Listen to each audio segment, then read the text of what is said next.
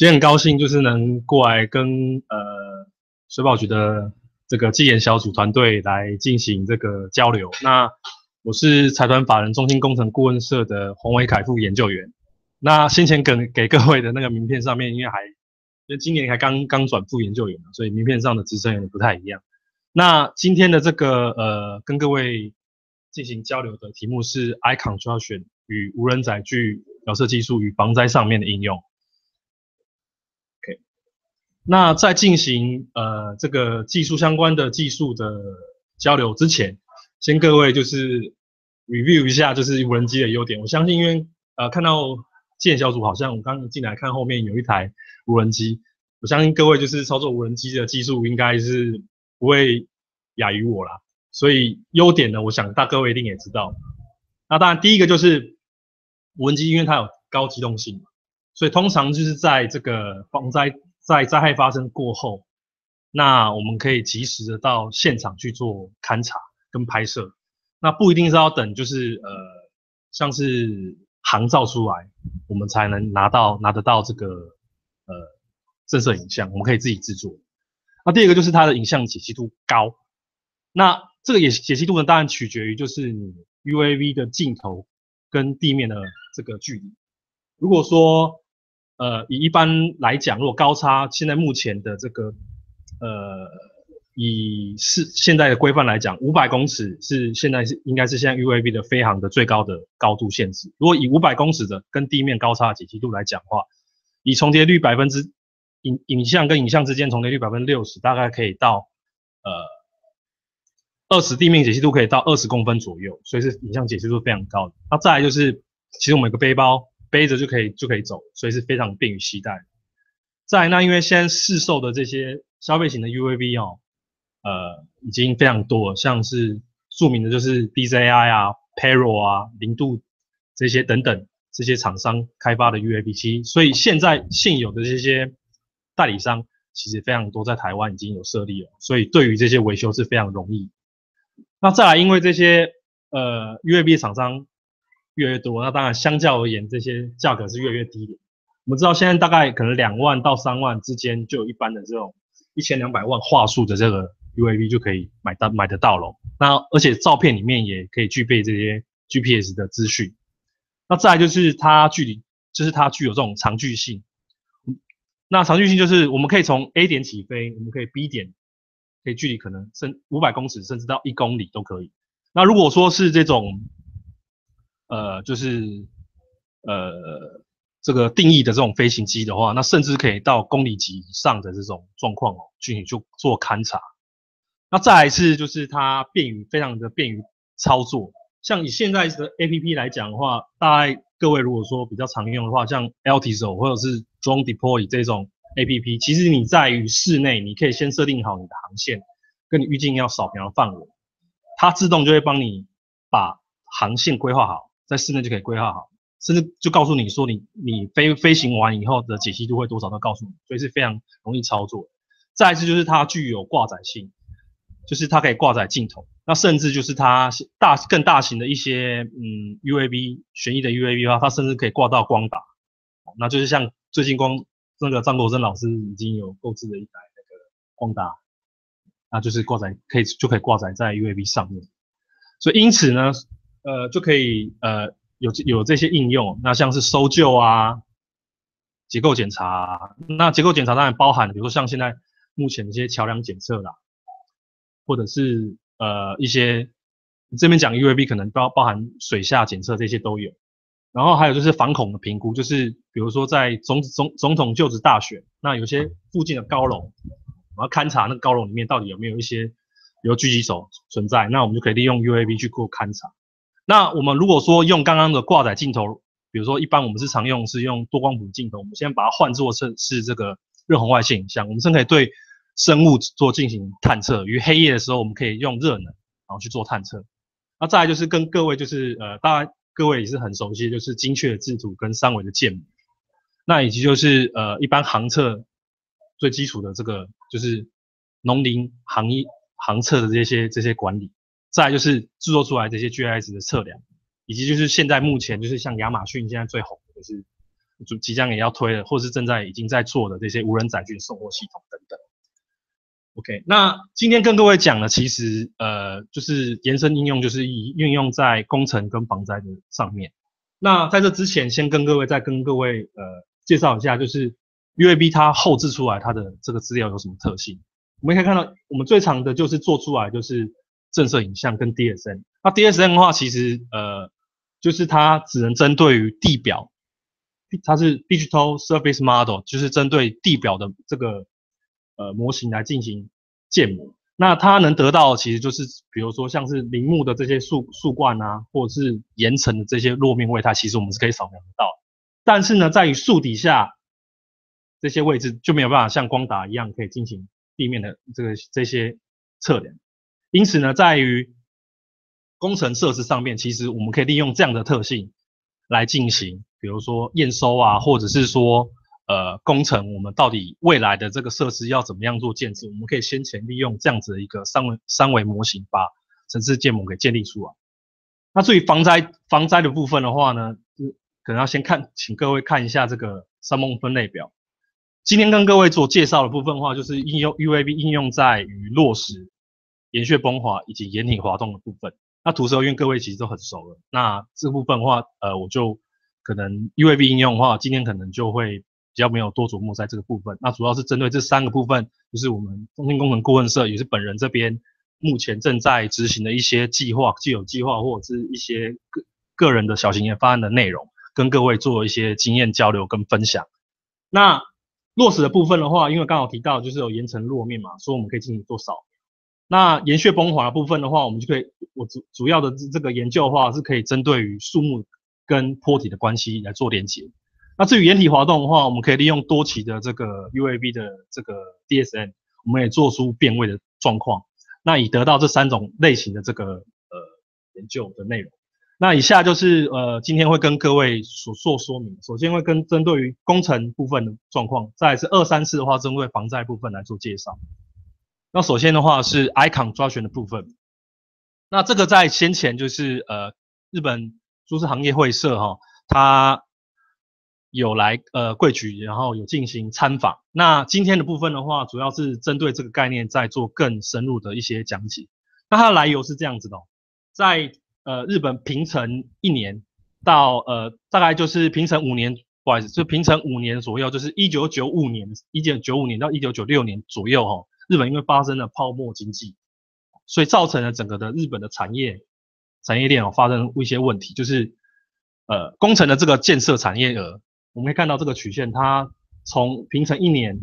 到平成二十七年，也就是一九八九年到二零一五年哦，它的工程的投资资本下降百分之四十二，其实非常高的比例哦。哦，那这联动影响了，就是现在造成日本的这些就业问题。那我们再来看现在日本的这些呃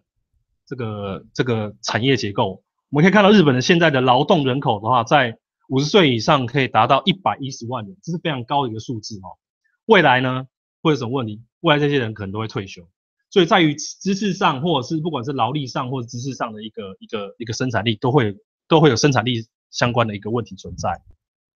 OK，然后再来就是呃工程产业，我们知道就是它的这个可能会影响的这个死亡率是非常高的。跟其他产日本的日本这边做一个比较，它跟其他产业相比哦，日本的工程相关建筑产业是死伤率是两倍。所以是非常高的。再来就是日本跟呃台湾一样，现在目前的一个以现在平成四十五年三月所统计的资料可以看到，在道路跟桥梁的部分哦，有百分之六十七 percent，它是已经达到五十年的这个这个建设周期，所以是已经趋向建筑物已经趋向老老年老龄化的一个状态，需要做检测或检修。OK，所以依照这样的一个状况哦。劳动力过剩，建建筑产业的低迷，哦，这些高危工程业的高危险性，生产率下降，以及退高龄化跟退休潮，以及结构老化这种状况哦，种种这些因素呢，所以呢，日本国土交通省哦，在日二零一五年十一月的时候提出来的一个 ICT 技术，所以 IT ICT 技术就是 Information Communication and Technology，也就是简称来讲就是资讯通讯技术。然后它导入一个叫 I construction，所以 I 就是我的意思，con construction 就是建造，所以我能建造，我能建造什么呢？就是利用它主要就是透过 UAV 的这个这个呃技术呢，把它希望就是日本的每一个工程工程人人员呢，他能去学会这个呃这个 UAV 操纵的技术，甚至是建模。那好处是什么呢？我们可以来看一下哈，这个是下面的话，这个是过去的一个呃日本的工程产业的状况。这个其实跟台湾其实也是一样，一开始在做调查或者是测量的时候，我们通常是以测线的方式做做二维的测量，然后一条一条线的测线这样拉。那其实有个问题啊，那就是呃，因为我们一次就是得到一个剖面的剖面，其实你中间的这一段其实你都是内插出来的资讯，其实它不是真三维的。但是如果说现在我们有 UAV 的这个技术的话，我们直接做空拍，做这个非常规摄影的方式，把三维模型建立出来，其实就可以大大减少这样子一个测量的一个能力，这是第一点。那在测设计的一个施工的部分的话呢，其实呢，过去在工程产业里面，呃，最大的资金其实就是在于挖田方的这个料源的这个量体估算。那过去过去在传统施工方面的话，我们都是要呃，挖怪手挖了以后，然后上这个呃这个这个车子，然后几车几车这样算。但是不用，那现在直接你用挖填方在一起，就是你建筑建设前跟建设后，或者是坡地坡地的开发前跟开发后的这个三维地形一比，你就可以知道说这个到底挖填方的量是多少，以便于就是设计施工的一个一个一个一个一个计划哈。那第三个就是这个比较特别，就是因为由于我们有三维的建模。所以，我们是不是就可以在事前的时候，我们可以在室内做好建筑做建筑建筑设计的规划？我们是，我们就可以，甚至我们可以就是排定说，哎，挖土机要从 A 点到 B 点要怎么走？哦，它要在什么时间点挖挖挖多少？哦，我们就可以导入这样子一个资讯到机器里面。我们只要在室内做进行操作，然后就可以把利利用现场的这个机器进行进行开挖动作，这样其实就可以大大减少刚刚所提到的安全性的问题。因为最后就是在验收的部分，传统验收的话，就是可能人都要到现场，然后，呃，比如拿了这个 GPS 的仪器啊，或者是测量仪器呢，去验收说，哎，这个基地是不是在这个我们的这个平面设计图上的这个位置是不是正确的？那其实如果说透过这样的一个 icon 出去抓选的一个概念的话，其实在于三维的建三维的建模直接把。我们的拍摄地点拍摄出来，直接对着这个我们的二维的这个施工图，其实马上可以达到验收动作。所以我们可以看到，就是它可以大大的减少人力跟时间的成本。那先前日本这个国际行业来贵局就是推动了这个部分呢，就是希望呢，呃，能把这个呃 icon j o u r n 的这个概念，把它推进推动在日本的工程产业链里面。那它是无偿的去。呃，提供地方的民间民间单位跟地方政府，哦，去使如何去教教导说如何使用 UAV 跟跟怎么样做这三维的一个模型，哦，以达到说工程产业人员就是他除了在于他基本的技能以外，他还多一个技能。那这样子呢，以透过这样的一方式呢，哦，做授课，哦，然后最后呢也会颁发出来一个证书。那以让就是工程人员呢，他他能除了就是刚刚所提到的一个状况，就是他原原本自既有自的技能以外，他也有这个额外的技能技能产生。那一如果说在淡旺季的时候，比如说没有他他突然呃没有工没有没有工程的相关的这个呃呃这个工作可以接的时候，他可以透过这样的技能去接相关的一个一个一个工作，以得到自己个人收入。那日本。这个株式行业会社，它其实它就是利用一个这样的方式，然后将 UAV 民众所拍摄的 UAV 上传到云端，它就可以在这个系统里面建立三维的一个模型。那目的就是为了把这些模型建立建立以后呢，它可以传到现场一个状信鸿事务所，让现场的人员能了解现场的状况。那这个是呃，它上传云端云端的一个建制的一个示意图，大概可能你只要丢一百五十张的。这个照片当然也要跟你根据你的这个不同解析度会有不同的一个运算方式，大概四十分钟就可以建就可以建立出来，大概是四四百公尺乘三百公尺大的这个现场规模的一个三维模型哦。那以上这个是 I construction 的概念。那这个在接下来的话就跟各位介绍一下是呃关于防灾的一些 UAV 的应用哦。那首先是落实型的一个部分哦。那我们都知道，就是呃，像呃这个纪研小组现在目前有使用这个 Pixel 4D 或者是其他一些建模软体，可以建立出来像这样子一个倾斜摄影的建模。那其实这里面其实建模的方式，其实它就是用呃影影像拍摄完以后的点产生点云，那点云它用点点云跟点云的连接出来以后，它就可以成为一个模型，三个点可以成为一个面。那这个的这个边。跟各位讨呃跟各位介绍的话，就是利用这样的一个点的概念哦，我们其实可以把岩坡一样透过三个点连成一个面，那我们可以把岩坡的一个节理位态把它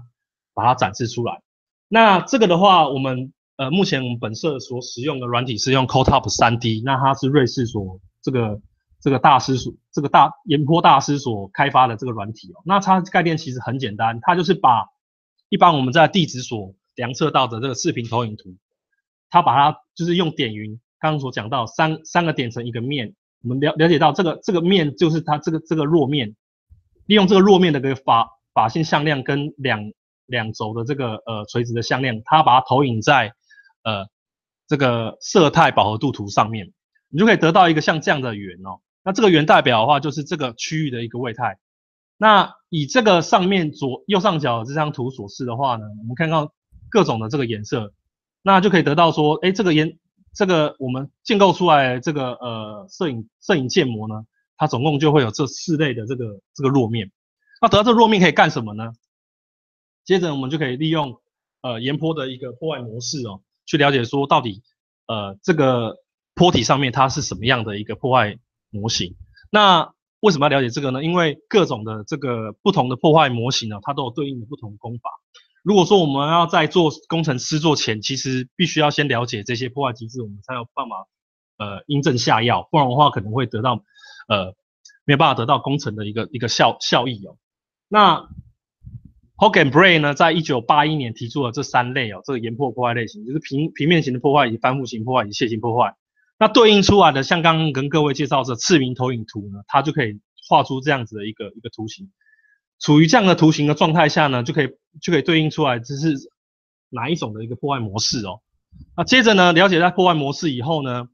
我们我们就可以利用呃不同的这个破坏类型对应的这个稳定分析软体，我们进行稳定性的评估哦。那最后呢，就可以得到利用我们这些呃评估出来的中显示或是高显示，我们可以进行影响范围的一个模拟。那这个案例的话是利用就是呃。呃，水保局台北分局在这个台九线一五一 K，这个就是呃汉本车站对面的岩坡当做案例哦。那我们利用这个模拟软体的这个程式的话，是用 RAMS，这是瑞士的一个呃落实的模拟软体。那我们都知道落实其实呃影响落实的模拟的一个重要参数，就是因为未能转动能，所以高差是重要。再就是这个地表的这个材料。那这个软体里面比较特别的是。它甚至可以是针对于落实的形貌进行建制，那当然这里面就可以放入我们 UAV 所拍针对落实所拍摄出来的这个外表的模型，我们这时候就可以把它丢进去，它就可以根据这个 UAV 所拍摄的模型做出来的落实的形貌，好，然后进行模拟，然后最最后得到就是影响范围的一个状况。对，所以在这个部分呢，这个流程大概就是前前面前端就是影像，我们会有影像拍拍摄。最后会得到三维模型，最后呢，我们就可以针对这个模型里面的这个弱面呢，进行自进行进行自动判试。判试完以后，我们接着会针针对把这些这些弱面呢，把它做这个呃坡面的这个岩坡的破坏机制的分析。最后我们我们再做稳定分析，我们可以得到说，在这个岩坡上面到底它的高中低潜势相对来讲是如何。接着我们就可以针对我们想要知道的这些高中高潜域潜势区域做影响范围的数值模拟。那再来是岩穴的一个风滑类型 UAB 的一个应用哦。那我这边主要就是利用这个树冠孔隙率的方式来做这个坡体的稳定度的一个关系的一个连接。那在讲之前，跟我先以这张图来跟各位做介绍。那这个的话是我近期会发表在中华水土保持学报的一篇文章。那绿色的这个线的话，就是呃，我们先看绿色这条线哦。绿色这条线型其实就是我们。U V U A V 所做出来的地表数字模型，好啊，那这个是我们再来看，我们再再请各位看到的话是这个这个这个坡面底下一个状，这个树下底下的状况哦。我们可以看到几个几个比较有趣的这个特别的地方是，分别是千级点、坡体破坏的位置以及张裂缝。各位可以看到这三个位置其实都有对应出来一个问题，就是我们可以都知道，因为第一个千级点的位置的话，就是一个是树呃直升它难以在比较陡的一个陡峻的状况下进行生长，所以通常在呃树冠的部分呢，我们会无法侦测到，所以它这边会有树冠孔隙率的树冠孔隙的发生，它树冠孔隙会是比较大的。那再来坡体破坏的位置，因为树木倒塌了，所以呢，这边这个地方就会有树树冠的消失，这个地方会产生树冠孔隙的一个发生。另外呢，就是在张力裂缝发生的位置，因为树呢，它的树根因为因为可能张力裂缝的破坏，它它发生了一些剪力破坏，使得树根被剪断了，那它没有养分吸属的一个媒介，所以它就死亡了，造成了树冠的这部分呢，它就不会生无法无法生长。所以我是因因此我是利用树冠的一个一个关系跟坡底下坡体的关系，利用这样的关系把呃这个跟坡体的稳定呢来做一个关系的一个连接。那依据以上的这个呃关系的连接以后呢，我们我们要怎么操作呢？很简单，其实我们就是利用我们 UAV 所拍摄出来的这些呃地表数值模型，我们看到这些其实都这个就是呃这个这边会有两个图啦，我们各位先看一下，这是简化示意图。这是实际的一个分波分析的示意图，那实际状况可能就是这个一个圈一个圈，其实就是树树冠的一个圆圆圈，这是这是代表每一个树冠一棵一棵树的一个一个状况。那实际状况可能会长这样。那黑色的状况就是这个是利用阴影图，九十度阴影图打下来，就是光光从上面倒下来。那黑色部分因为光源打不到，所以它会产生黑色的状况。那这些打不到的部分就是树树跟树之间的 gap，就是树冠的孔隙。那接着我们我我是用自动判识的方式，我把这些这个呃比较这个这 RGB 这个相对来讲是比较暗的部分，把它给挑选出来，我做自动判示哦，把这些得到这些鹅黄色的部分，哦，我针对这些鹅黄色的部分呢，我去做呃所谓的密集度分析。那这边部分的话是用 R G S 的核密度分析，好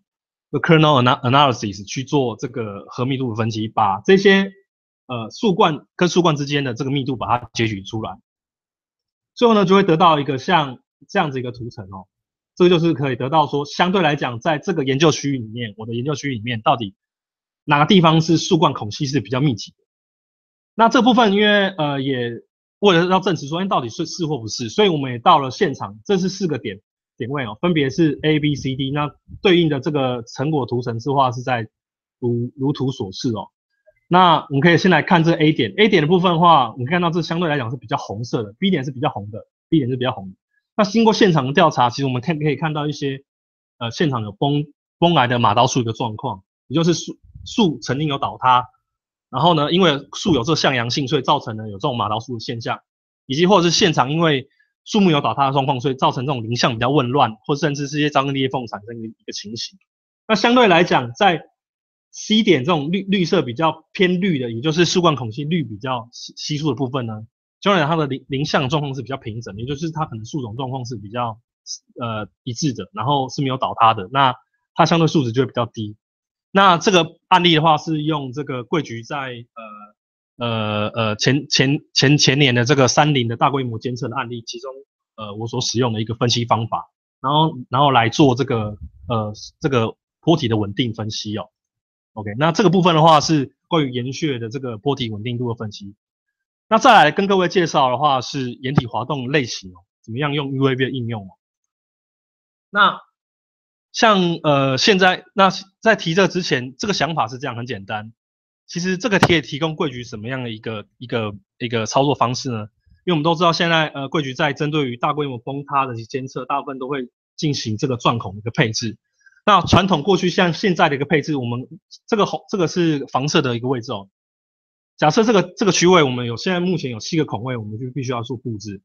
那通常我们的测线方式都会以希望以一个面十字形的方式，或者是距离这个呃建筑物比较近的部分来去了解说到底现在这个滑动面的位置到底是跟这个结构物的关系是怎么样。所以我们可能会以这样的一个方式做配置。但是实际上坡体滑动。状况真的是这样子吗？其实我们是不知道的。所以呢，但是如果说我们现在无人机的一个技术导入，我们利用了多时序的这个，我们利用可能不用很久，可能我给我们两个月，或者是甚至呃呃一个月一个月内，我们真多时期的拍摄，因为我们知道 UAV 我们可以常去飞嘛，那我们用建模，我们了解到如果说这个坡体，呃在不同时间点它的 DSN 的变化，我们就可以得到像现在我们先现在这样的一个状况，就是呃到底。两期的 UAV 状况下，两两期 UAV 所做做出来的建模情形下面，到底现在的一个一个滑动的一个地表变位量是多少？我们这样是不是就可以重新思考说，哎，到底其实哪些区域是我们实际要去做配孔？那我们是不是可以针对一些黄红色部分的话是变位量比较高，绿色是比较低的？那我们是不是就可以不用上面这么多孔布到上面，我们是可以多一点孔布到下面？我们就算是可以多了解一下我们的这个滑动面到底它的一个趋势是什么样子？那其实。就可以做这个钻孔部分，我们就可以做比较有效的这个一个经费配置。那这部分因为呃，我这部分因为还正在做呃研究的进行，那这部分的话可能是以文献的那个方式跟各位做一个成可能预计成果一个一个一个展示啊。那这是用一个国外学者他在利用澳洲的一个一个一个一个岛岛屿哦，他利用总共七期的这个 UAV 影像哦，它年份当然是比较长啊。是去，实际上它是用是用隔年或者是一年里面会有两期，那总共做了一个四四四期，呃四就是两两配对做做个四个匹配的一个一个图层，我们可以看到总共这些这个这个整个的一个研究区域哦，你会看到其实像在这个绿色区域里面哦，它的变位量其实没有不是那么大。那像这个区域的话，我们其实如果说我们要做监测的话，我们其实可以孔位就可以就可以不用不用在这个区域做做配孔，或者是说呃。我们了解到这个红色红色区一直在发展，发展区位是在是在呃我我现在这个滑鼠所指指示的这些区域的话，我们是不是就可以多多一点配多一点配孔区域在这个地方？那我们就可以了解到，我们可以去就可以去了解到说这个区域它到底滑动面的一个发展状况是在是在怎么样？哦，那以上的话就是大概是针对这三种的这个呃类型 UAV 所应用在于呃防灾应用，就是呃。崩塌类型的一个一个一个一个分析方法的一个应用啊，那以下就做一个一个简单一个小结哦。那首先是工程的部分哦，就是呃，我们可以因为日本其实工程环境跟现在台湾其实未来会面临的环境其实是一样，就是呃以后一定台湾也是人口会出现老化，那结构结构物其实现在目前其实我们台湾也面临就是有老化的问题。所以相对来讲，像这些工程的设施的一个呃，利用 UAV 的监测，其实是辅助是非常有效率的。那所以我们可以增进这些利用这样的一个技术，我们可以增进工程图纸的一个效益。然后呢，哦，挖填方的快速计算，或者三维三维导三维图纸的一个导入自动化工程，这这个是我们未来哦，我们台湾工程其实可以呃，其实可以考虑可以把这个这个技术把它导入。那第二部分的话，防灾应用的话，我们也知道说。我们在对于一个呃山崩类型的调查其实非常重要，因为我们我们做工程整治，我们必须要有不同的这个呃，我们必须要有不同三蒙类型的了解，我们才可以做应应的一些